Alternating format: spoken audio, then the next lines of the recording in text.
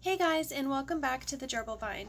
Thank you all so much for being here, for clicking on this video, and for helping the gerbils and I spread around good care information here on YouTube. So I hesitated on making this video for a while because I truly believe that animals should not be purchased before you weigh the pros and cons of owning that said animal. Hamsters and gerbils share many similarities, yet they are extremely different at the same time. Some obvious differences would be their appearance, as well as their level of sociability, with some similarities being that they are both a semi desert species of animal and they require a large, secure home, with tanks being the preference. The reason for making this video today is that I commonly see the question posed online which pet should I get, a hamster or a gerbil? So today we're going to go over some of the awesome things about both of these species, as well as comparing some of the differences. Before we get started, please make sure that you like and subscribe so that you never miss our uploads. So, I truly despise the term starter pet. I don't believe that any animal is a starter pet, as animals need time and research put into their needs and their care requirements. I don't think it's fair for stores to advertise animals that have such special and sensitive care needs and requirements as an easy, ready to go animal. Unfortunately, both hamsters and gerbils are marketed as starter pets, and they are often bought on impulse with no research done on their care, nutrition, or any other aspect of their husbandry. So let's start with their sociability. Gerbils are social animals that ideally should be housed in pairs. They can happily coexist with other gerbils and they can actually exhibit signs of stress and depression if they are housed alone. They rely on each other for their safety, security, and comfort. Gerbils are the opposite of solitary. Hamsters, on the other hand, should never be housed together. They will fight to the death. Don't let their cute and cuddly exteriors fool you. These little maniacs will gladly defend their turf until the end. They do not like to be kept together and they can become anxious and stressed if they even smell another hamster. If you are looking for a couple cute small pets to live together, gerbils would be your best bet. If you are looking to get one animal, a hamster would likely be the pet for you. In regard to food, hamsters and gerbils have many similar requirements. There are many safe foods that they can both have, and their diets don't completely differ from one another. They both require a good amount of protein from a pellet diet, as well as a seed mix to introduce a little bit of variety. They both require fresh greens and vegetables a couple times a week, with fruit kept to a minimum or as an extremely rare treat. Hamsters in particular should avoid fruit as they can be prone to diabetes. They can both safely consume oat, millet, and flax sprays, and they both love pumpkin, sunflower seeds, and mealworms. When it comes to housing options, this can differ massively. Gerbils are hardcore, dedicated chewers. A large glass tank is the best and safest option for them as it provides security, and provided you have a secure lid, is basically escape proof. Wooden homes or plastic bins or cages are unsuitable options for your gerbils to live in. For hamsters, on the other hand, these can make great alternatives to large glass tanks, provided that they meet their space requirements. There is little risk of them chewing out of their home, as hamsters are generally not as aggressive chewers as gerbils are. Bin cages as well as the Prevue 528 are both common and appropriate sized hamster enclosures. Gerbils need glass tanks, they cannot live in plastic homes.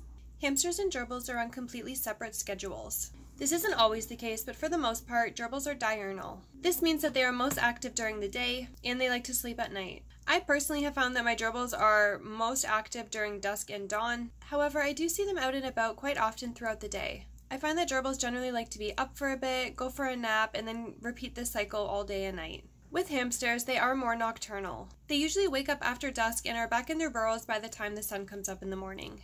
My hamster Beanie likes to wake up between 10 and 11 at night, and she is usually back in bed by 5 a.m. There are some random times throughout the day where she may be up to look for some food or to get a drink of water, but majority of the time she sleeps throughout the entire day. This can be really challenging if you have kids who want to play with and interact with the hamster, or even if you go to bed early.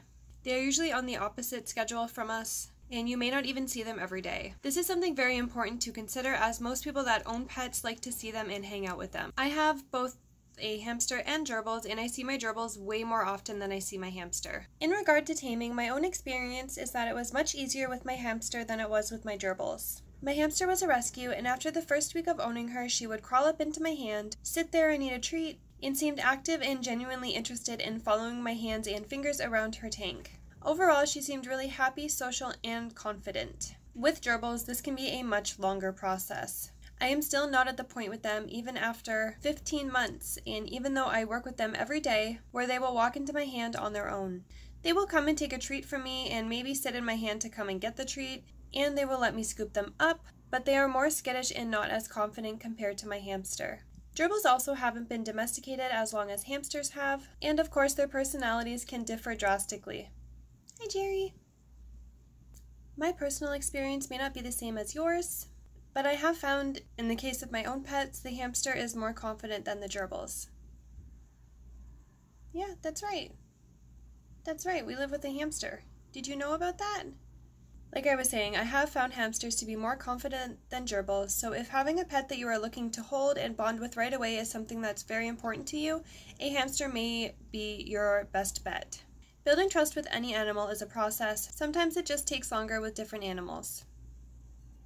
The level of mess is also another important thing to factor in. With the right environment, for example a tank with either a platform or a topper, gerbils are able to stay somewhat organized and keep their space and themselves fairly clean. Without a topper or some sort of platform or divider, Trying to keep your gerbil tank clean and organized will likely drive you mad. Gerbils can be trained to use the bathroom in one spot, and my boys like to use their sand religiously. And they also enjoy going to the bathroom on the floor of the topper, as I have found that that's a pretty common thing with gerbils. They like to go to the bathroom on flat surfaces.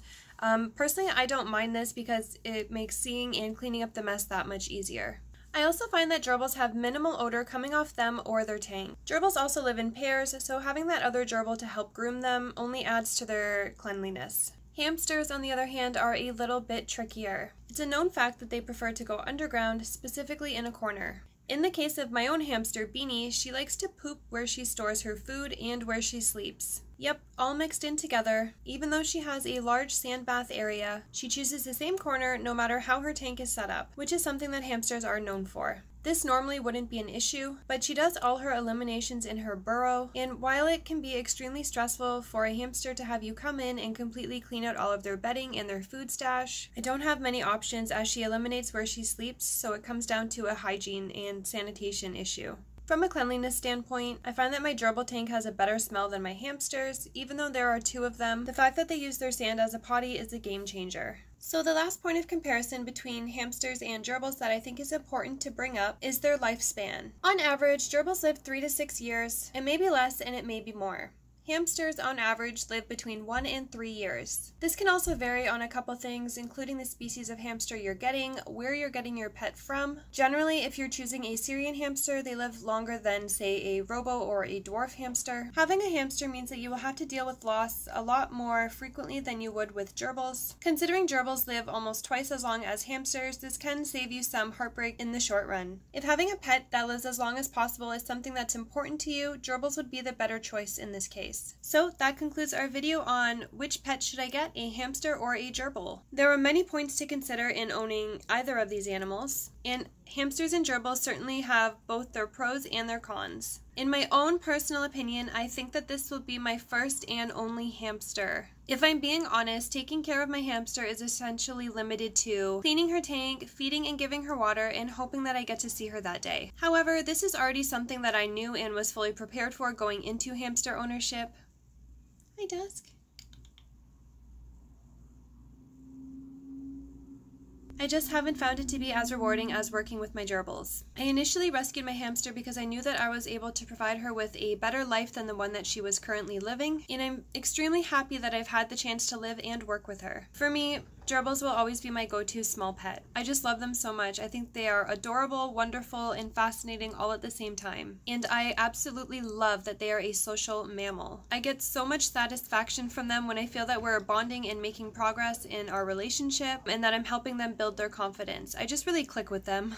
Just to be clear, I also think that hamsters are ridiculously cute. I mean, come on, there's no denying those sweet little faces. I just think going forward, I will strictly be a gerbil girl. So thank you all so much for watching, and I hope that you found our video helpful if you're stuck in between trying to make a decision between these two small pets. Make sure that you like and subscribe so that you never miss our uploads. If you feel like it, drop us a comment down below and let us know what your preference is between hamsters and gerbils. Thank you all so much for watching, and we'll see you next Friday. Bye!